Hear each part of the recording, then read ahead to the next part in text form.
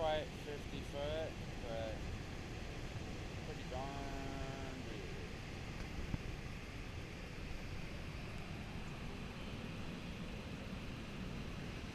Isn't she pretty?